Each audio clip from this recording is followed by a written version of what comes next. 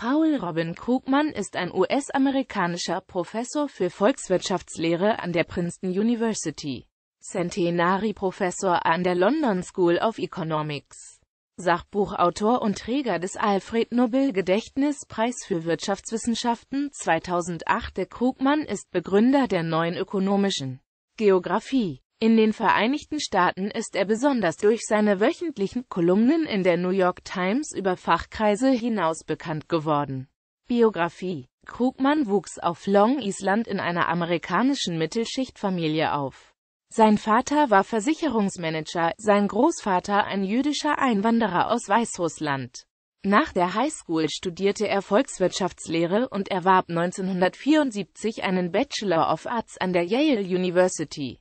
Im Jahre 1977 schloss er seine Doktorarbeit am Massachusetts Institute of Technology mit einer Arbeit über flexible Wechselkurse ab. Im September 1977 wurde er Assistenzprofessor an der Yale University. Ab 1979 arbeitete er dann zusätzlich als Gastassistenzprofessor auch am MIT. 1980 wechselte er als Associate Professor ans MIT. Gleichzeitig gehörte er von September 1982 bis August 1983 zusätzlich als Berater für volkswirtschaftliche Fragen dem Rat der Wirtschaftsberater der Regierung unter Präsident Ronald Reagan an. Rückblickend betonte er, dass seine kritischen Argumente gegenüber den politischen Entscheidungen während dieser Zeit nur wenig Gehör fanden. 1984 stieg er am MIT zum ordentlichen Professor auf 1994 wechselte er vorübergehend an die Stanford University, kehrte jedoch 1996 ans MIT zurück. Seit Juli 2000 ist er Professor in Princeton, außerdem lehrt er als Centenary-Professor regelmäßig an der London School of Economics. 2014-15 wechselt er von Princeton zu der City University of New York, wo er als Professor lehren und über die Ungleichverteilung von Einkommen und Vermögen forschen will. Krugman ist mit der Wirtschaftswissenschaftlerin Robin Wells verheiratet. Zusammen mit seiner Frau veröffentlichte Krugman zwischen 2004 und 2006 Economics ein Lehrbuch über Volkswirtschaftslehre sowie je ein Lehrbuch über Mikro- und Makroökonomie, wirtschaftspolitische Standpunkte.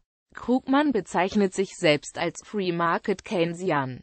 Er möge freie Märkte, befürworte aber gleichzeitig Staatseingriffe, um Marktversagen zu korrigieren und Stabilität zu bieten. Einzelne seiner marktfreundlichen Kommentare hätten die politische Linke erzürnt und seien Milton Friedman und Margaret Thatcher gegenüber freundlich gewesen. Mit dem Essay You was Milton Friedman, der sich kritisch mit dem wissenschaftlichen Erbe Friedmans auseinandersetzt, stieß Krugman Anfang 2007 eine lebhafte Debatte an. In dem Essay beschreibt er Friedman als großen Ökonomen und großen Mann, kritisiert aber gleichzeitig Friedmans öffentliches Auftreten, bei dem es einige ernsthafte Zweifel an seiner intellektuellen Redlichkeit gegeben habe. In einer umfassenden Betrachtung von Friedmans wissenschaftlichen Leistungen und ihrer politischen Implementierung kommt Krugman zu dem Schluss, dass der Monetarismus überholt und nur noch ein Schatten seines früheren Selbst sei. Es könne außerdem mit gutem Grund gesagt werden, dass der Friedmanismus als Lehre und bei seiner praktischen Anwendung zu weit gegangen sei. 2007 veröffentlichte Krugman Conscience of a Liberal, das sich mit der Geschichte der Einkommensverteilung und Vermögensverteilung in den USA des 20. Jahrhunderts auseinandersetzt, worüber Emanuel Saez und Thomas Piketty intensiv geforscht haben. Krugman vertritt die Auffassung, dass anders als vielfach angenommen die seit den 1980ern entstandene Vermögens- und Einkommensungleichheit großteils aus politischen Entscheidungen, insbesondere Besteuerung, resultiert. In diesem Zusammenhang unterscheidet Krugman vier wichtige Phasen der US-Wirtschaftsgeschichte, The Long Gilded AGE, The Great Compression, Middle Class America, The Great Divergence die erste Phase ist von einer großen Einkommens- und Vermögensungleichheit geprägt. Die zweite Phase beginnt mit dem New Deal führt zur bisher größten Angleichung von Einkommen und Vermögen in den USA, die zur drei Phase beiträgt. Die vierte Phase habe seit den 1980er Jahren bis zum heutigen Tag zu einer noch größeren Einkommens- und Vermögensungleichheit geführt als Anfang des 20. Jahrhunderts. In der aktuellen Auseinandersetzung um die wirtschaftspolitische Bewältigung der Wirtschaftskrise wirft Krugman den vorherrschenden ökonomischen Modellen vor, keine adäquate Antwort auf die aktuellen Probleme zu haben, da die Modelle zu starke Annahmen bezüglich der Rationalität der Akteure hätten. Krugman befürwortet zwar grundsätzlich die Verwendung von volkswirtschaftlichen Modellen, da sie die Möglichkeiten der Einsichten deutlich vergrößern. Auch hat Krugman kein Verständnis für Menschen, die unrealistische Annahmen von Modellen kritisieren und es ihrerseits vermeiden, ihre eigenen Annahmen präzise zu definieren. Laut Krugman sind Modelle Metaphern, aber nicht die Wahrheit. Er warnt aber davor, Formalisierung und Mathematisierung zu einem Selbstzweck zu machen. Modelle müssten auf einer realistischen Beschreibung menschlichen Verhaltens basieren, so sollten Modelle zum Beispiel berücksichtigen, dass Menschen nicht nur rational agieren. Paula Samuelsons 1948 veröffentlichtes Lehrbuch Economics passe besser auf die aktuelle Wirtschaftskrise als viele moderne Studien. In Umweltfragen plädiert Krugman für eine engagierte marktbasierte Klimaschutzpolitik. Er betont, dass Klimaschutz die Wirtschaft nur geringfügig belasten wird und verweist in diesem Zusammenhang auf eine Studie des Congressional Budget Office.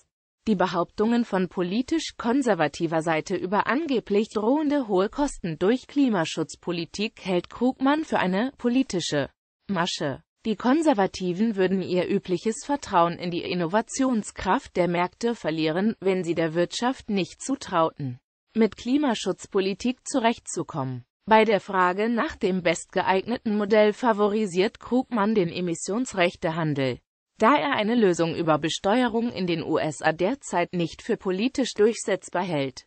Auf internationaler Ebene schlägt er vor, mit CO2-Zertifikaten und Zöllen positive und negative Anreize zu setzen, um Schwellenländer wie China in eine globale Klimaschutzpolitik einzubinden. Krugman warnt nachdrücklich vor den Folgen von Untätigkeit. Einer Argumentation von Martin Weizmann folgend plädiert er dafür, dass in erster Linie die bestehende Möglichkeit einer Klimakatastrophe die politische Entscheidungsfindung leiten sollte.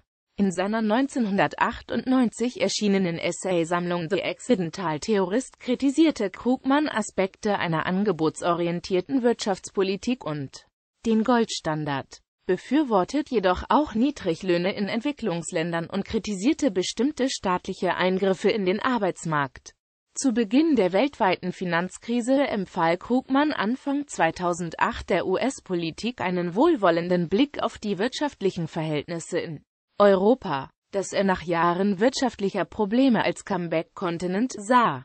In der Euro-Krise kritisiert Krugman eine an deutsche Austeritätspolitik gebundene Geldpolitik der Europäischen Zentralbank und sprach sich 2010 dagegen für eine antizyklische Finanzpolitik aus dass Griechenland und Irland durch die auferlegte Sparpolitik in Depression verfielen, sah Krugman 2011 als volle Bestätigung der Einsichten von Keynes an. 2012 hielt er ein Ausscheiden Griechenlands aus der Europäischen Währungsunion für unausweichlich. Griechenland war wahrscheinlich dem Untergang geweiht, seitdem wir das erste Mal die Wahrheit über den Haushalt des Landes gehört haben. Krugman gehörte 2015 zuerst zu den Unterstützern der neuen von Alexis Tsipras geführten Regierung. Später zeigte er sich enttäuscht von der Kompetenz der Regierung, Rezeption. Manchmal wird Krugman offene Parteilichkeit vorgeworfen, andere Kommentatoren hingegen sehen Krugman als ideologisch farbenblind an. Irwin Elle Collier schreibt über Krugman in einem Nachwort zu einem seiner Bücher, dass er durch die Kolumnen, die er seit 2000 für die New York Times verfasst, zum bekanntesten Intellektuellen der USA wurde und für George W. Bush zum bedrohlichsten politischen Bösewicht. Auch wenn viele seinen Stil als zu schrill ansehen würden und die Attacken auf Bush an der Grenze zur Majestätsbeleidigung seien habe Krugman sich aufgrund seiner Fähigkeit, auch Laien wirtschaftliche Zusammenhänge begreiflich zu machen, viele treue Leser gewinnen können. Im Zusammenhang mit dem Wechsel von Princeton zu der City University of New York wurde teilweise kritisiert, dass die Professorenstelle mit vermutlich 250.000 US-Dollar dotiert ist. Das ist in etwa das Vierfache des Durchschnittseinkommens eines Haushaltes in New York. Es sei heuchlerisch ein hohes Gehalt zu kassieren, obwohl der Forschungsauftrag zur Ungleichverteilung von Einkommen und Vermögen erteilt wurde. Dagegen wurde vorgebracht, dass einige konservative wirtschaftswissenschaftliche Forschung zur Ungleichheit fälschlich mit Kommunismus gleichsetzten. Krugman plädiere nicht dafür, dass alle ungeachtet ihrer Qualifikation dasselbe verdienen sollen, sondern dafür, dass Ungleichheit durch höhere Steuersätze für Reiche abgemildert werden solle.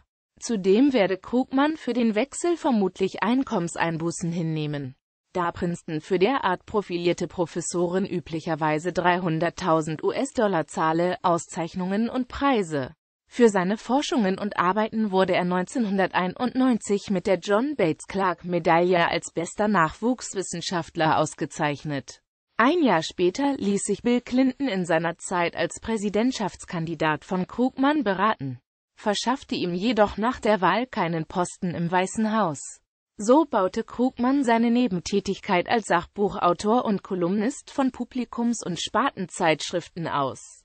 Neben regelmäßigen Artikeln für Nachrichtenmagazine wie Fortune, Foreign Affairs und Slate schrieb er einige Bücher für ein breiteres Publikum, in denen er besonders die Arbeit der Wirtschaftsexperten im Clinton-Kabinett kritisierte. Das Münchner Center for Economic Studies ehrte Krugman 1997 als Distinguished CES Fellow. Im Jahre 1998 verlieh ihm der Fachbereich Wirtschaftswissenschaft der Freien Universität Berlin die Ehrendoktorwürde. Zwei Jahre später wurde ihm in Nürnberg der Horst-Rechtenwald-Preis für Nationalökonomie zuerkannt. Für seine Leistungen als Wirtschaftswissenschaftler erhielt er 2004 den Prinz von Asturien-Preis. Den sogenannten Wirtschaftsnobelpreis 2008 erhielt er insbesondere für seine Analyse von Handelsstrukturen und Standorten ökonomischer Aktivität.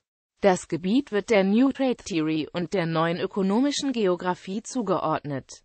Die Annahmen der alten Außenhandelstheorie werden hierbei durch solche ersetzt, die der historischen Realität besser angepasst sind, dadurch werden Erklärungen möglich wieso entgegen den Voraussagen der älteren Theorie der freie Handel nicht zu einem weltwirtschaftlichen Gleichgewicht geführt hat, sondern dass regionale Disparitäten und Agglomerationseffekte entstehen können. Wenn etwa Bedingungen berücksichtigt werden wie geänderte Produktionsfunktionen, die Transportkosten, die Marktstrukturen und bestimmte außenhandelspolitische Strategien. 2010 erhielt Paul Krugman vom Kieler Institut für Weltwirtschaft den Weltwirtschaftlichen Preis. Werke Der Mythos vom globalen Wirtschaftskrieg. Eine Abrechnung mit den Pop-Ökonomen. Campus, Frankfurt 1999 ISBN 3 593 361 477. Die große Rezession. Was zu tun ist, damit die Weltwirtschaft nicht kippt. Campus, Frankfurt 1999 ISBN 3 593 3636882 Ulstein, München 2001 ISBN 3 548 3 Schmalspurökonomie. Die 27 populärsten Irrtümer über Wirtschaft Campus, Frankfurt 2000 ISBN 3 593 36287 2 Ulstein, München 2002 ISBN 3 548700756 Der große Ausverkauf. Campus, Frankfurt am Main 2004 ISBN 3 593 37437 Nach Bush. Das Ende der Neokonservativen und die Stunde der Demokraten Campus, Frankfurt 2008 ISBN 9783593385655 Bundeszentrale für politische Bildung, Bonn 2009 mit Mauriz E. Obstfeld Internationale Wirtschaft. Theorie und Politik der Außenwirtschaft. Achte aktualisierte Auflage. Pessen Studium, München 2009 ISBN 9783827373618 die neue Weltwirtschaftskrise. Campus, Frankfurt 2009 ISBN 9783593389332 mit Robin Wells, Volkswirtschaftslehre.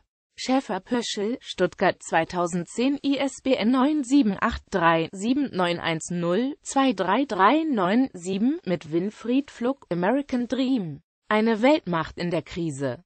Campus Frankfurt am Main 2011 ISBN 9783593395319 Vergesst die Krise. Warum wir jetzt Geld ausgeben müssen. Campus Frankfurt 2012 ISBN 9783593397290